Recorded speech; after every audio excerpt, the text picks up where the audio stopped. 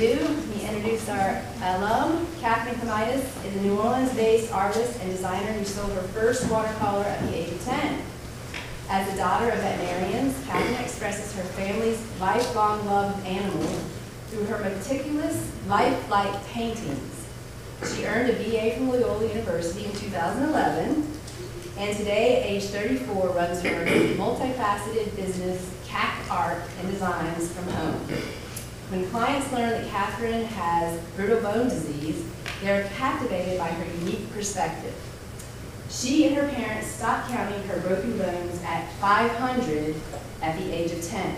She's 2 feet 7 inches tall, gets around on an electric wheelchair, and creates all of her art, jewelry, and commercial graphic design while lying on her side. To learn more about Katherine, pick up a copy of her book, Looking Up, on her website or Amazon or here today. Without further ado, please welcome Katherine.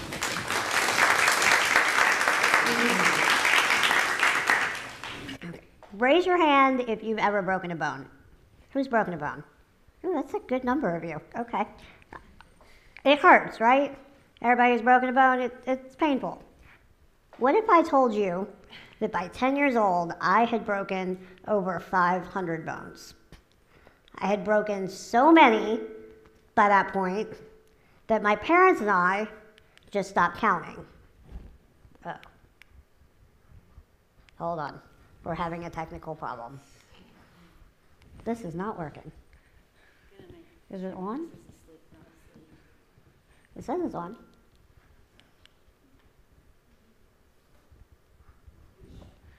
One second. We tried this and it worked. It worked just fine.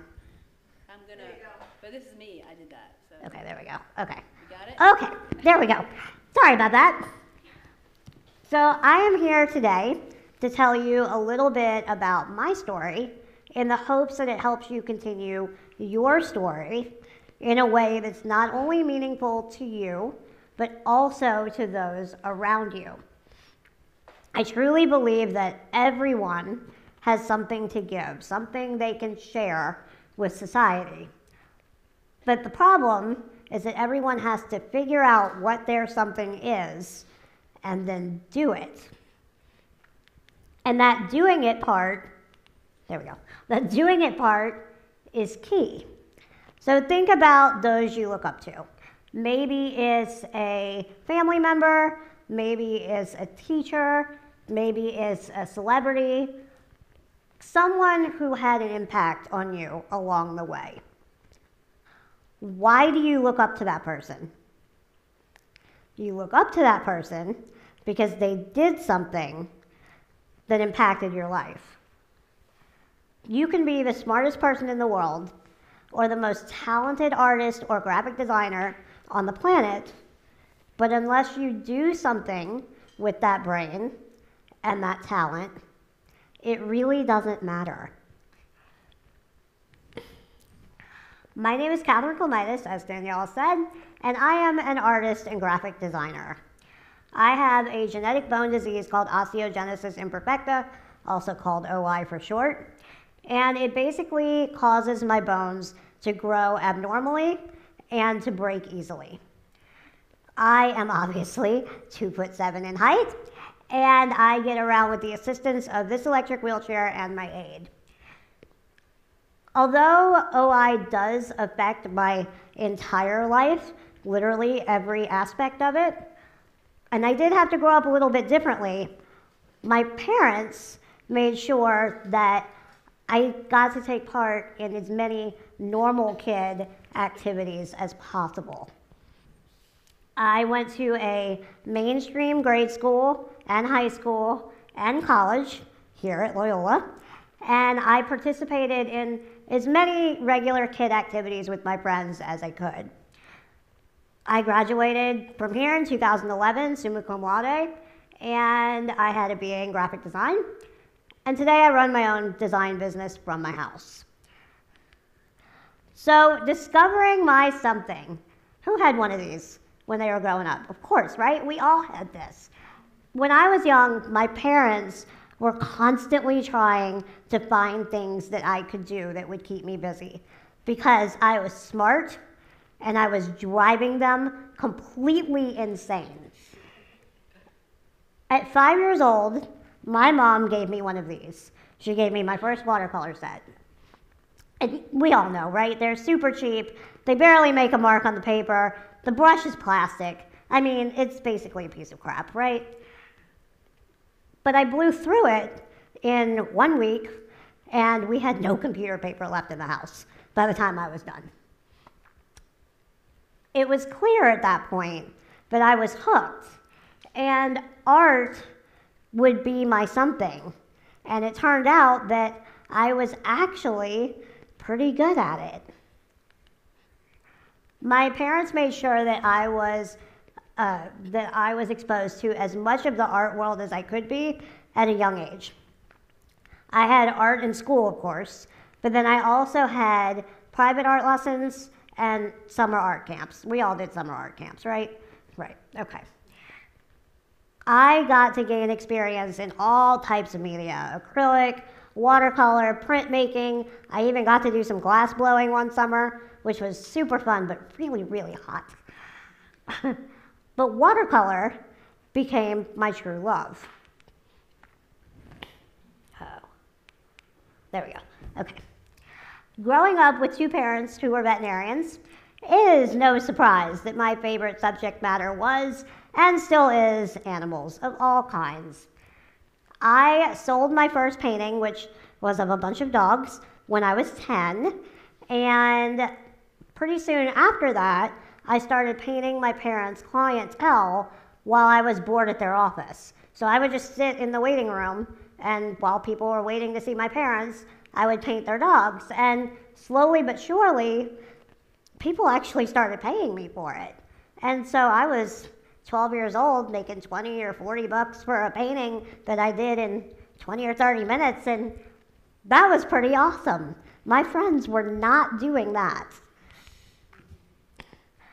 But along my art journey, I had a few amazing mentors, and they helped me develop my skills and my process and my style. I found that it's easier for me to paint while I'm lying on my side because A, it's easier on my back. I don't have to sit up and hold myself straight. And B, I can rest my arm on my side while I paint and it lets me paint for longer periods of time. The problem with that is that the world looks really different when you're laying on your side than when you're sitting straight up. Has anybody tried to draw while they're laying on their side? Have you picked it up after and been like, oh God, what happened? Yeah, try it. Because what looks straight when you're laying down is not going to look straight when you pick it back up. I had a mentor when I was, uh, I guess, a teenager named Robin who taught at Delgado, and she taught me private art classes. And she would actually lay on the floor with me on the weekends and help me learn how to compensate for my angle. So she would see the world as I saw it. And she made me practice drawing straight lines without a ruler. Who in here has done that? Everybody here has done that. Circles without a compass. Yes, over and over and over and over and over. And I pretty much hated it, right? We all hated that. Yeah. But it turns out that all of that hard work paid off. Because I know that without Robin's lessons, I would not be able to draw or be the artist I am today. And in between those technical lessons, Robin taught me some life lessons along the way. I can still hear her telling me, draw what you see, not what you think you see. Anybody heard that one in here? Yep. And that a good painting begins with a good drawing. She taught me that life is not always as it seems at first glance. And sometimes we need to look again before we make a judgment. She also taught me that, and I'm sure everybody in here has learned this, you have to do the grunt work if you want to be successful in anything. So while my friends were off perfecting their sports moves, I was in my studio drawing circle after circle and line after line. And I learned that art isn't always fun. But nothing really worth doing in life is always fun, is it? I worked hard and it paid off. Although art started as a hobby for me, literally just something to keep me busy, it soon turned into a passion and eventually a source of income. Art gave me something to share with society that made other people happy, but it also gave me a way of earning a living, even though I had some pretty significant physical challenges. I found that while there are a lot of jobs I can't do, I can create art, and I can do graphic design, and I can earn just as much or more money than my able bodied friends do. In this way, art gave me a sense of independence and a sense of hope in life that I never had before. My grandparents started hosting art and jewelry parties for me when I was about 15 in where they live in New Iberia, Louisiana, which is a very small town about two hours from here. And later, I built my business model around that. We call them CAC art parties, where I bring all of my art into somebody's home or into like a place of business or a church or somewhere like that. And we have a party. So instead of just have anybody been to like a um, Avon party? That's really old, but Lularoe or um, Tupperware parties or anything like that? Okay, I know. I'm sorry. I don't do these things very often for anybody else but myself. Um, but but basically, it's the same thing. So the host will get a portion of the proceeds I make, and usually they take it in merchandise, and then I get to meet a bunch of people, and it's really fun. We have a great time. And so, even though art is not something I would necessarily say I do for fun anymore, it's opened up more opportunities for me than I could have ever imagined as that five year old with that super cheap watercolor set. As I approached the end of high school, I had to really start thinking about what my next steps were going to be because I knew I was going to become a professional artist. I just didn't know exactly how.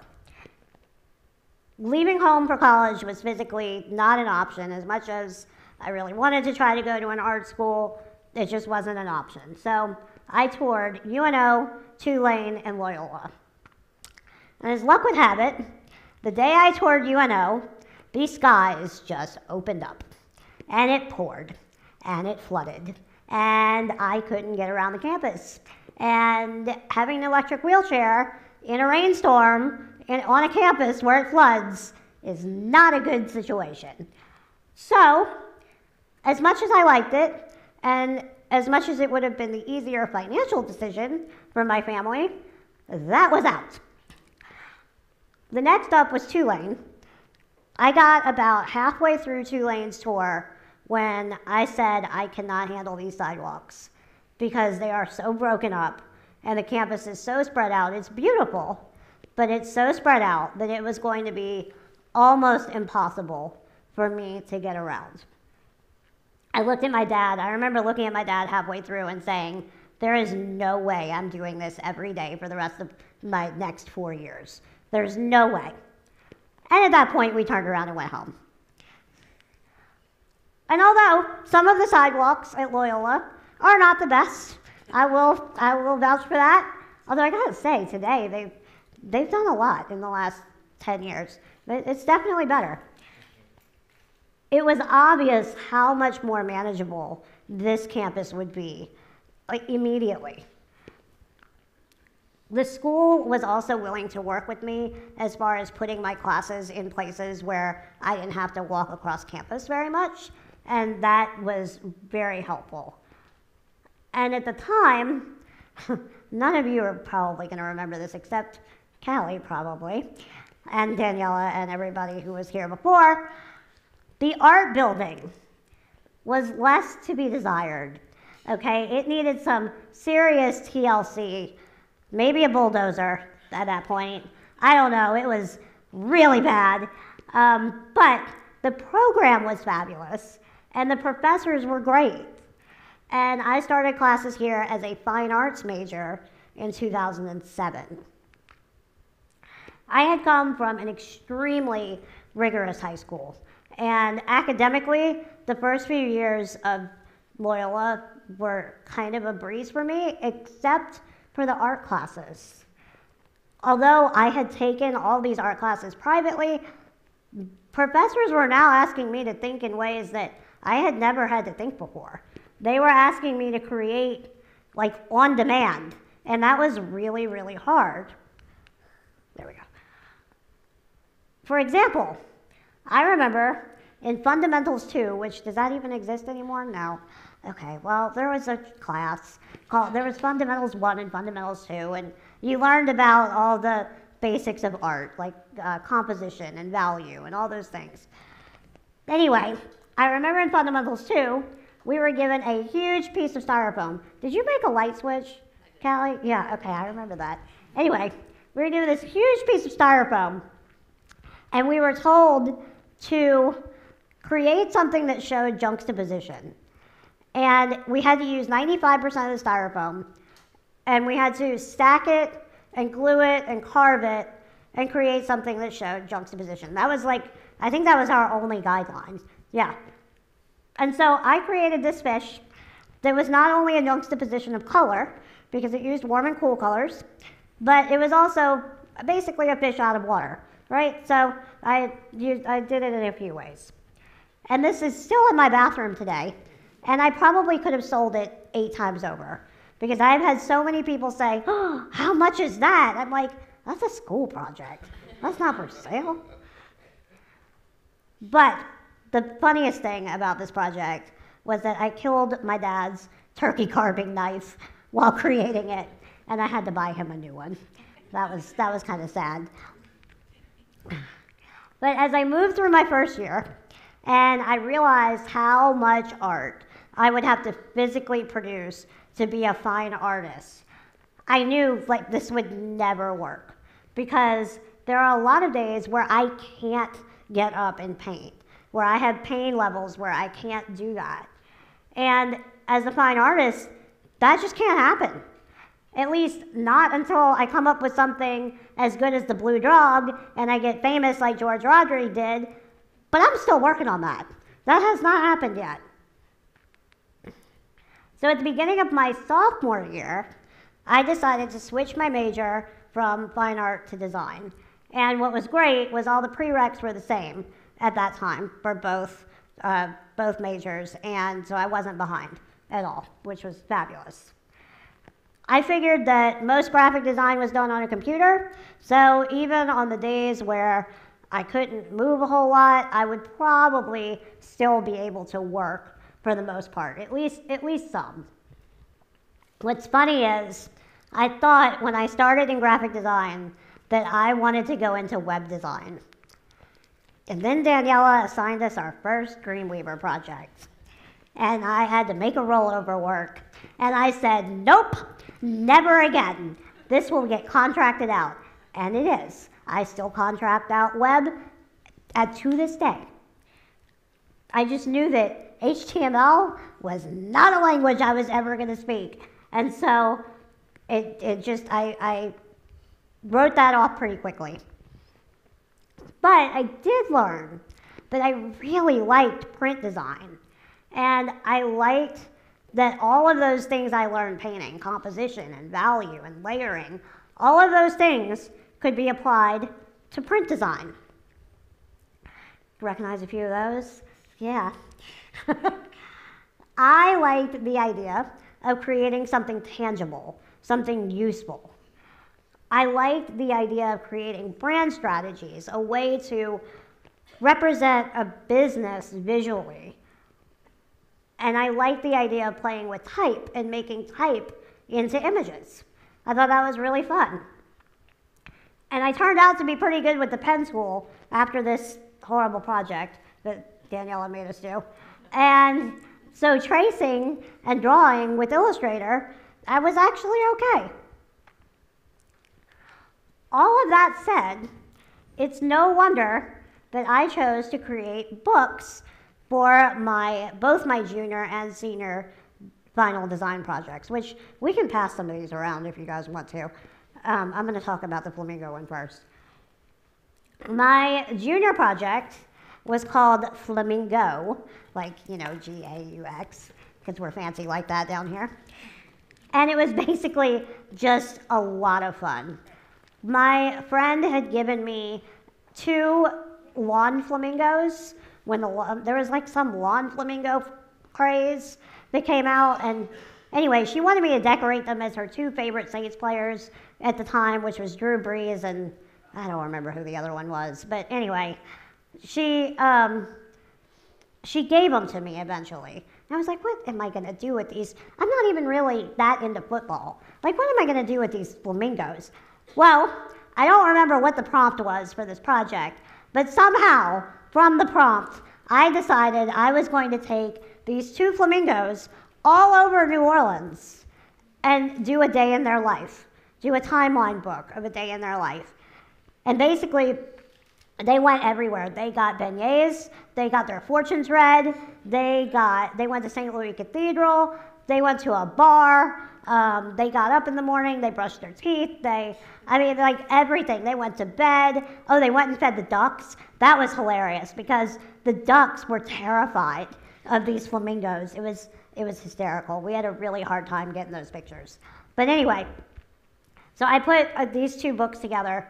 Um, one is kind of a revision of the first one. And then I combined all of those pictures with facts about flamingos.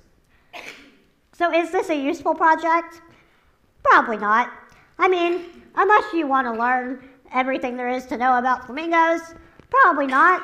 But it was a lot of fun, and I learned a lot about putting a book together and actually publishing a hardback book and what that took.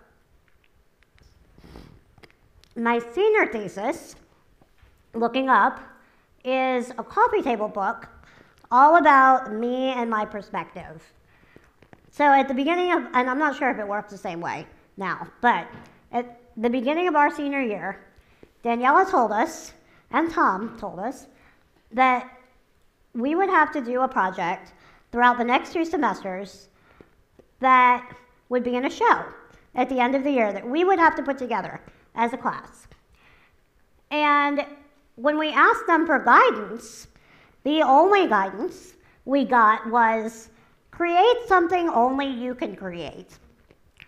Great. so, we had Christmas break to come up with three ideas to present to them when we got back in January. And I honestly don't remember what my other two ideas were. I think one was a poster project, but I'm not sure. But this is the direction I decided to go in. At first, we thought it would be hilarious if I did an oversized book, something that was literally the size of me, because, you know, that would be really funny, right? Well, it was hilarious right up until the time I started looking at printing costs for an oversized book. Scratch that plan. Slowly, my project evolved into this coffee table book and an accompanying loop video. I did like a day in my life video during the show. And it went really well. After graduation, Arthur Hardy, does everybody know Arthur Hardy is in this room? He's Mr. Mardi Gras. You see him on, I think it's WDSU, I'm not sure which one, but he's the guy with the mustache and the Mardi Gras bow tie. Anyway, he picked it up and published it. And it's available in a few local bookstores as well as on Amazon and here with me. So when I graduated in 2011, I immediately began to freelance. I started working for the New Orleans Musicians Clinic, which I still work for today, and I picked up literally any job I could possibly find. And, you know, I did discounted work, I did free work, I did work that's not fun, for a long time. I still do work that's not fun sometimes. You do what you have to do. But little by little, I got my name out there and I started getting more clients by word of mouth. And I started having to learn how to juggle all of these clients and all of these projects and their demands. And let me tell you, if you think this lady's tough, you just wait until you have a week like I had last week, where one nonprofit has an event at the end of the week, one nonprofit had an event the next day, and sponsors got left off banners, and they all need all of this stuff fixed all at the same time. It is not easy. And they all think they're the center of your attention 24 7. So if you think it's bad now, it, it doesn't get a whole lot better. I hate to tell you. But you're working for yourself, and it should feel fulfilling, right? Slowly but surely, after I graduated, I got out of school mode and I got into like a working lifestyle. I started wanting to paint again. And I remember the first painting I did after college. It's called Identity, and it's still one of my favorites, and it hangs in my kitchen. It's funny because I look back on my years at Loyola, and I really didn't paint much while I was here, except for what I had to do for class. Because there was, we had so much being asked of us, right? You feel like what you're doing is everything you can just to keep up in class, right? that I didn't have it in me to paint. I didn't want to paint. But slowly but surely, I started to miss it. And so my free time in between clients, I do a pet portrait here and there, which is not something I was doing at that time. I would paint a bird. I would, you know, paint whatever I felt like. And I started to remember how much I loved it. So identity gave Nicole, my aide, and I this idea that we could create a greeting card pack based on all of those eyeballs. So it would be a pack of 12 cards, and we would sell them at my art and jewelry shows, but I was still doing with my grandparents every year. And then the more I painted, the more greeting cards got added to the collection. And then we had to break them up. And then people wanted special requests. And it was just a kind of a nightmare. But I started seeing other ways I could use my art. So, but before we knew it, I had mugs, and I had towels, and I had blankets, and I had ornaments. I had an entire homeware line, basically, that I was selling at all of these events I was doing. So, still today, I'm constantly looking at different products and testing out things and seeing what works and what doesn't. And I'm always honing my skills and working on my marketing strategies. But a huge part of why I can do that is because I have a design background. That's a huge part of it. So today I do a combination of art and graphic design. My business is kind of split down the middle, down in two. I have several de design clients, mostly nonprofits, uh, which I do print design and social media management for. And this, uh, I also do pet portraits still, of course. And I, this will be the third year I have a collection of new paintings in a museum in Louisiana. So that's really exciting. That's going to open in September in Thibodaux. So if y'all sign up for my list, you'll get the email. It'll be exciting. Everybody come. But having all of these facets of my business keeps my interest because I get bored really easily. And it helps me to not get bored and to not burn out. Because everybody here, I'm sure, has had burnout, right? We all had it. it it's just, it's a thing. It totally happens. It is hard sometimes to juggle both sides of my business. And even recently, because I have this big painting deadline for September, which is really July, but I'm going to try not to think about that right now.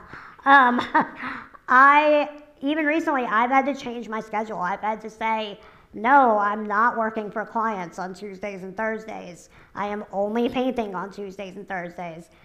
And most of the time, I can hold it to that. Not always, but most of the time. Um, but that's, it's hard to say no sometimes. But my favorite projects are still the ones where I get to combine art and design. So this project is called Breed All About Us, and it's floating around, it's coming around. Um, uh, this was a collaboration I did with my neighbor in 2019. And it features 64 dog breeds, and I painted each one of the 64. So there's a kind of like a mini pet portrait of each one in there. And then my neighbor Yvonne wrote a little quip to go along with each painting.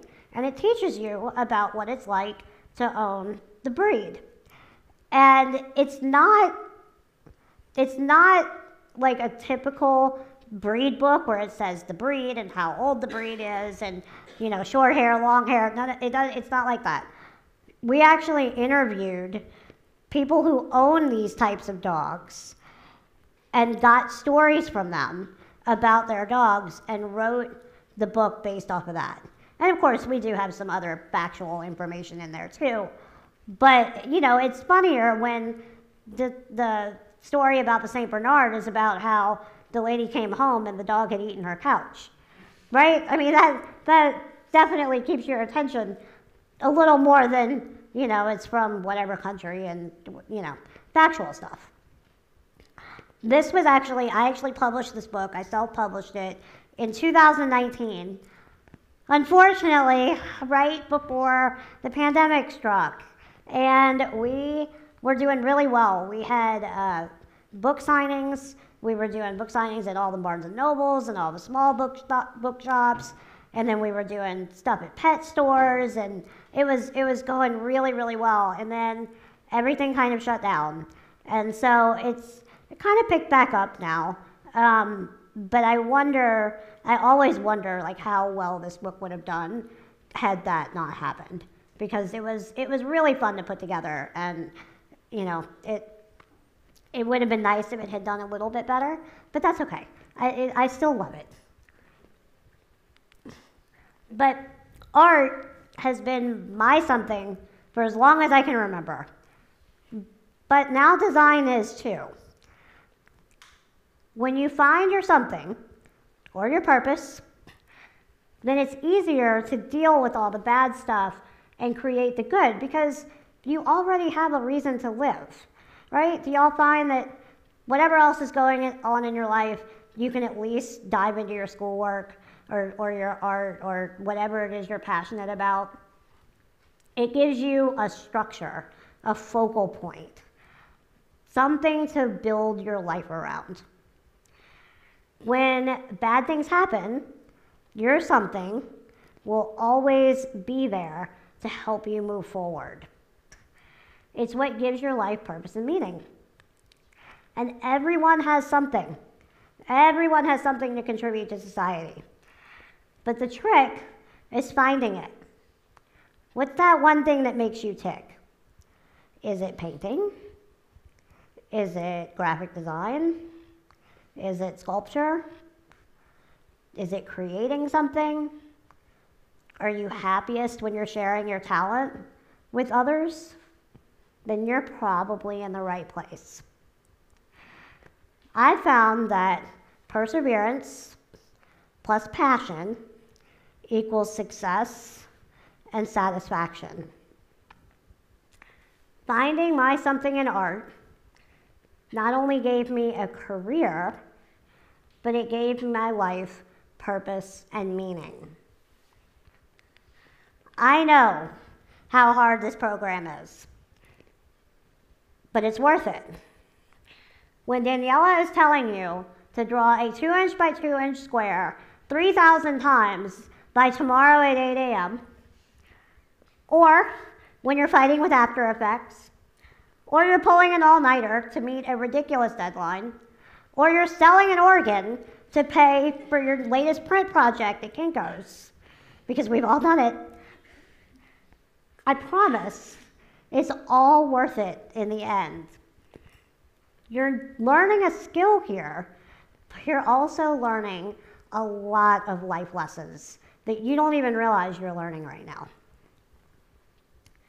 And with a little bit of luck and a lot of hard work, maybe art and design can be your something too.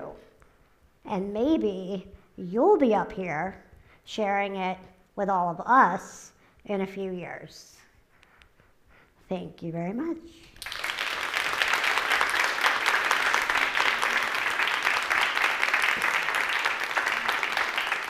So I'm gonna I'm gonna take questions. I have really bad hearing. Uh, that's kind of part of my whole OI deal. So Nicole is gonna come up here and repeat them back to me so that I can hear them because I am not gonna be able to hear any of you. Don't be scared. I don't bite. You can ask me whatever. Okay. Um, first, thank you. That was great, and I'm glad that I came. um, where can I buy Breed All About Us? Okay, I, I did hear her. That was good. Um, uh, so, funny you should ask that. I um, did not re re up my inventory. Yeah, she can have that. I did not re up my inventory yet this year. They are on order. So if you order it through my Etsy store, um, I should have them by the first, and then they'll get to you. Yeah, yeah. Thank you. Yep. Yeah, I realized that the other Or day. email, huh? Yeah, or you can email me. Either way. Yeah.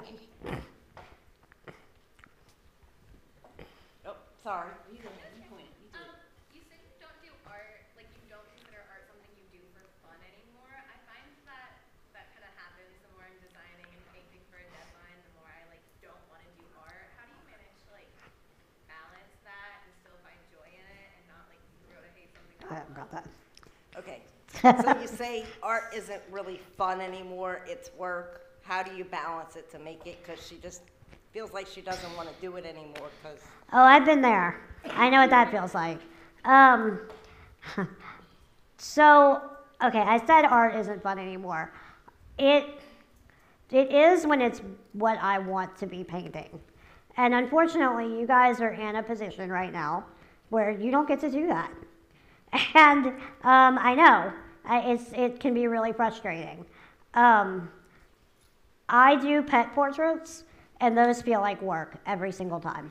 Because the thing with a pet portrait is it has to look like that dog, right? Or that cat, or that bird, or that horse, whatever it is. And so it's, it's stressful, right? Because all we have pets, right? People here have pets. There are babies, right? So like if you're commissioning a pet portrait, you want it to look like your dog, right? Um, so it's it's there's a lot more pressure with those. Now I'm also doing a series right now of all Louisiana wildlife, and that's for my show in September, and it's going really well. And I'm getting to choose what I paint for that show. So it's stressful in that I have a deadline, but it's not as stressful in that I'm at least getting to choose what I want to paint, and I'm getting to I get to pick what photos inspire me and what I get to use and how I want the show to come together. and change it up between. Yeah, and like that's the nice. Feathers, That's the. So I just did a show. I should have put these up here, but I just did a show of fish, of all tropical fish, and it was 35 paintings. I don't want to paint another fish right now. Okay, like that was a lot of fish, and as fun as they were, that was a lot of fish. But what's nice about Louisiana animals is there's all kinds of Louisiana animals. Yeah. I mean, I can go everything from a cockroach to a bobcat to a raccoon to a, a redfish to, you know, an egret, which is great. And, the year before that, it was birds, so, right, so I didn't want to paint another bird again for a long time, you know. But so yeah, if you if you can get to a point where you can switch it up like that and you can balance, um, that really really helps. But like I said, it's gonna be a little bit before you get to that point, but you'll get there. You get there eventually. So you mentioned like right out of school, you kind of started doing some freelance work, and that was your like professional end. I'm just kind of wondering like how you went about finding that work. Um, I assume it probably wasn't easy. the freelance work after college, how did you go about finding it? Um, it wasn't easy. No, it's not easy. Um, it's it's it's talking to people. I mean, first it's talking to people. So some of the freelance work I found was actually from our design show, actually from our senior show. Um, I know a lot of people got jobs from our senior show, so that was that was really good. Um, it if you get one job, it's easier to get more. That's what I found.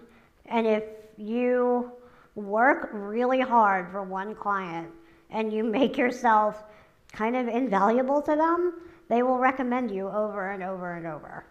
And so it, it just, it takes time. I mean, I did not get to a point where I felt like I was making any kind of money for at least four or five years. I mean, it was a while. It doesn't, it doesn't happen overnight. Um, but I'm actually at a point now where I can refuse clients, which is kind of nice. Um, and that, that was probably within the last two or three years I got to that point. So it, it takes it takes time, but word of mouth. I did some of those websites, those freelance websites where you go on, but it's it's so hard, especially now with AI, because I feel like everybody wants something for really, really, really, really, really cheap or nothing, and it's it's not. Those websites never worked well for me. I had I got one client off of those websites that I kept for a long time, out of maybe thirty. So yeah. So you also may want to, um, just explain the two projects you sent around. like Oh, the projects? Yeah, sure. So, the swatch book, which is that green thing going around, which I've already given Daniela a hard time about today. Um, yeah, so that project, which apparently none of you are lucky enough to do anymore, um, you find we had to find items and take a two by two square and trace right trace the pattern and then by hand and draw it by hand and then we had to scan those and then trace that with the pen tool in illustrator. And there's like 200 of these squares or something in this stupid book right? Yeah i mean it was torture. It was torture. But and and but i was really good at the pencil by the end of it. That is one way to learn. Um, and then the raindrop book, I don't remember the prompt for that, but we had to make a book that was something about like a sound or something, and I don't remember exactly what the prompt was, but it's a book all about rain and it's waterproof, so I thought that was pretty cool. Um, and then I talked about the flamingo book. I think that might be all I sent around. And we did looking up too. Oh, and, and yeah, I talked You about talked looking about up. the rest. Yeah. Um, I want a question. Um, so with, can you talk about your experience with Adobe? I Mhm. mean, I know- Oh, I- I'm not sure. Yeah. Um, they all know about it, so. Yeah. So a couple of years ago, um, has any, anybody watched the Adobe Max conference in here? Okay. So a couple of years ago, I got an email on like a Monday morning from some woman at Adobe Max, and it said, "Hey, we're going to be in your area on Thursday. We need to film somebody.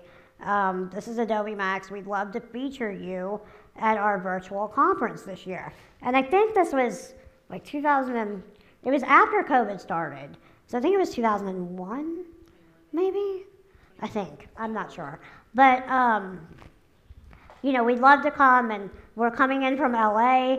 And so, okay, I get this email and I'm like, this is a load of crap. There is no way. This, there is no way. Like, why would they choose me? Like, first, how did they even find me? Like, this is Adobe, right? It was not spam. It was totally true. Apparently, Adobe Max that year were they were featuring like to deal with the pandemic. They were featuring all of these artists from all over the world in all different media. So they had dance and design and painting and sculpture and all kinds of stuff. And so in between each workshop, they would run these 10 minute features on different artists. And I ended up being one of them. And they paid you to come into your home and, or your studio or whatever, you know, wherever you were, and film you. And they, they told me it's only going to be about six hours. yeah. Okay. So they got to my house at 10:30 in the morning, and they left at like 9:15 that night. Um, and we filmed all day. It was two huge cameras, like two professional huge cameras, huge lights. They moved all of our furniture. Like it was, it was crazy, and like I couldn't believe I lucked into it. It just they I asked them where they found me, and they said Google. So I guess my SEO is working. I mean, I you know I don't know, um, but it was crazy, and I said, well, why why is this so last minute? Because you know you would think that this is something they would plan out, right? And they said, well, somebody dropped out at the last minute, and we're going to have all of our crew in New Orleans, so we needed to find somebody in New Orleans. And I was like, I mean, did they die? Like, why would you give up this opportunity? I mean, this is crazy. I mean, not only do you get paid for it, you get exposure that's insane. You know, so it was it was great. It was a really cool experience. Um, my Instagram following went way up after that. That was very exciting. But yeah, it was it was crazy. Ask Nicole. It was a very long day. It was a but they brought in catering. Walking up and down the driveway. Oh yeah, because everything you do, you have to do it like 15 times for the camera, and then they'd like take the camera and do all this stuff in your face to get like the lighting effects, and I was They it was filming me nuts. Feeding the dogs. I'm like, okay. Yeah, it was crazy. Can you, can you still see it? Can you Google it? Say it again. What? can you still Google it and see? Yeah, it? I think so.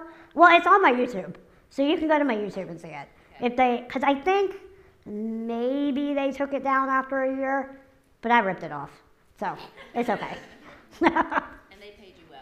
yes, like like I didn't even ask because I remember like when they approached me, I was like, okay, well, how much do I have to pay for this? Hmm. You know, because I'm thinking, man, this is great exposure. I mean, maybe I should go ahead and do it. But what if they want, you know, a lot of money? I don't have, a lot, especially with COVID going on. You know, I'm not making any money right now. So how am I going to pay for this? They're like, oh no no, the the fee for us, you know, we pay you this much, and I'm like, oh, oh that'll. They're like, is that okay? I'm like, yeah, yeah, that'll work. I'm good with that. The other thing you can mention is your experience with Rod Stewart. Oh yeah, I didn't talk about Rod Stewart, did I? Do you want to pull that up on my website or not? Sure. Okay. It's better when you can see it. So this okay, y'all are young. Mm-hmm. Who in here knows who Rod Stewart is? Okay, good. Okay, there's hope for this world. Okay, so a few years ago, uh, actually like almost five years ago, um, I went to Jazz Fest and Rod Stewart was there, and my friend and I basically camped out the whole day, got a good spot, you know, tried to sing all of his songs back to him, which I didn't really know all of at the time, so I kind of faked it the whole time, but apparently I did a really good job because he kept looking at me and singing to me, and I'm like, okay, I don't really know this song, but I'm gonna move my mouth and hopefully it looks right. And um, and he uh, he he kicks out these soccer balls at every show that he signs. So he gives me one of his soccer balls, which was awesome. And then during his like second to last song, yeah, go to design, graphic design.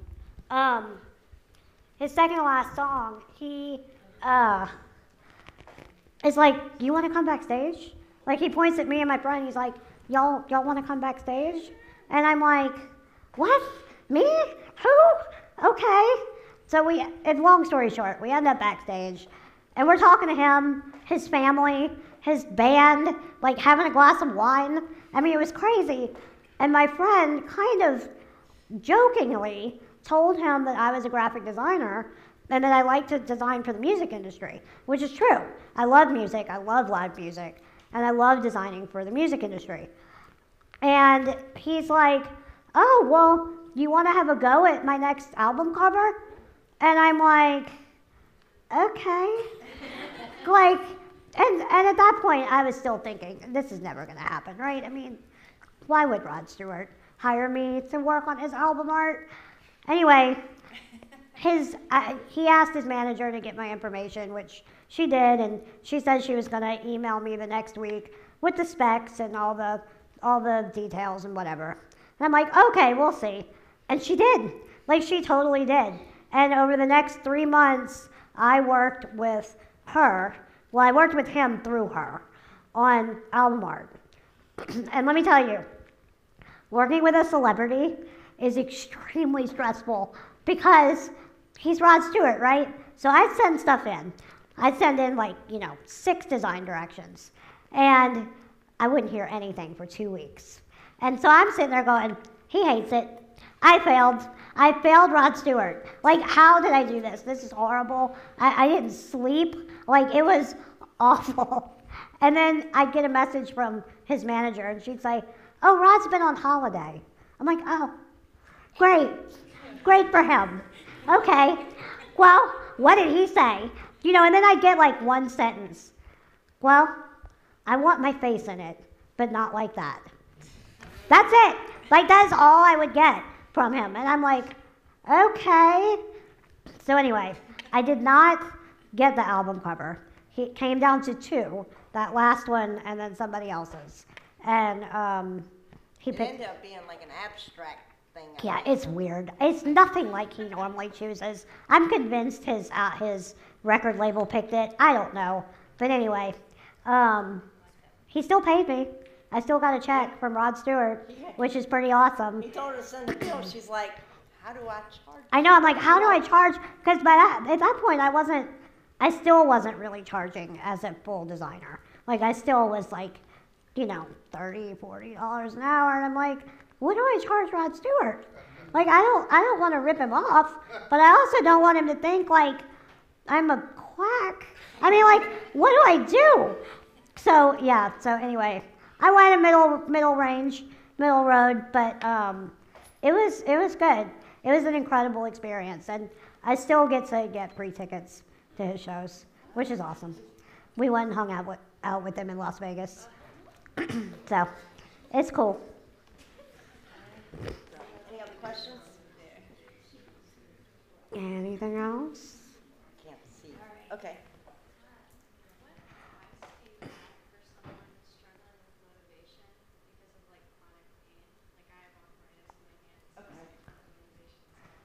What do you um, advise with somebody suffering, she has arthritis, so like chronic pain for motivation, to motivate you? I was gonna say, are we talking medications or motivation? Because I could go both ways. Um, okay. um, um, well, I really like music, so music helps me a lot. So uh, you can ask Nicole when like I have a headache or I'm overwhelmed or I'm really hurting. I'm like, I'm putting on my headphones. Leave me alone. You know, or when if she doesn't want it in her head? Yeah. I have to listen to it. it's rare though. Usually it's in my head. But um, you know, so I put on my headphones, I put on music really loud, and that helps me to like take my mind off of what's going on. Um, I mean, sometimes just throwing myself into work helps me a lot. Uh, I had a really bad injury in September, and part of the biggest, I mean, for me, like mentally, part of the biggest problem was that I couldn't work for like five weeks, which was really hard.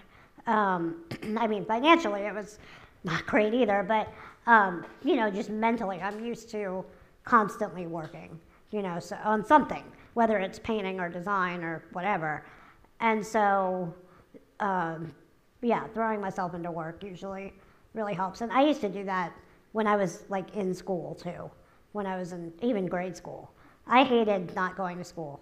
My mom, you know, I'm sure many of you have wanted to be sick, right, at school. I never wanted that. Like, I always wanted to go to school. And um, my mom would have to make me stay home. She'd be like, no, you have two broken bones. You have to stay home today. You know, and I never wanted to do that. So I'm weird. I don't know. I come from two very highly motivated parents. Well, it so makes you think about paying more just it does. It does. If you work through it, you know, that, that seems to help. But I get too that there are days you can't do that. And that's okay.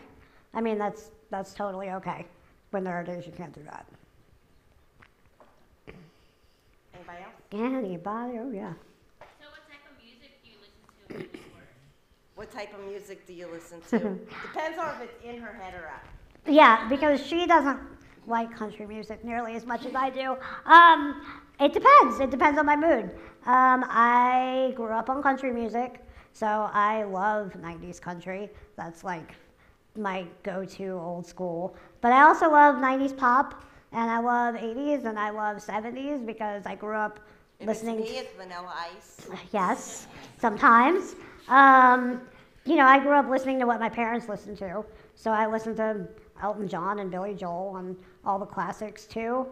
Um, the only thing I really can't stand is classical music, which sounds terrible, but only because I can't sing to it. Or there's, you know, like I need that the lyric to like to distract me. Um, that's the other thing is when I paint, I have to have either music or TV on in the background. I can't just paint.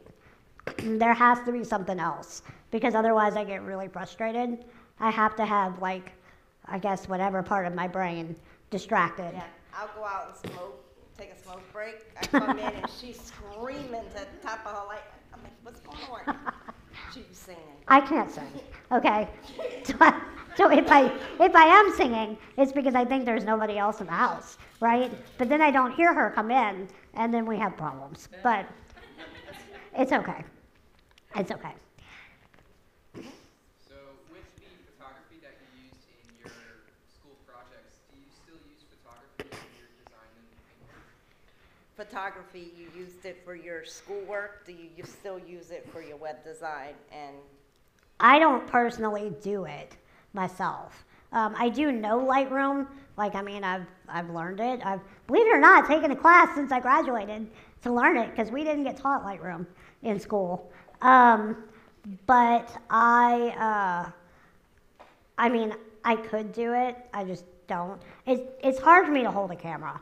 So, you know, physically, that's not the best medium for me. But I use it, I use other people's photography to get inspired for my paintings. So um, there's a news anchor, John Snell. I don't know if any of you know him, but he does incredible bird and Louisiana wildlife photography, like beautiful pictures. And I've asked him if I can use his photos. So a lot of what I'm doing right now is based off of his photos. Um, and then, you know, I use, I go on and find stock photos and things that I'm not going to get in trouble for later for copyright. Um, but so yeah, in that way I use it, um, and of course I use it, you know, to to promote my items, to promote my homeware stuff. You know, I have like a little background at home where I put the mug or whatever and take a picture and post it on Etsy or wherever it is I'm posting it. But that's not really photography. I mean, that's just me taking a picture to put to sell something, you know. So yeah, not in the formal way. Anybody else? Thank you. No? did you, no? Let's, say- let's give it another Okay. Thank you.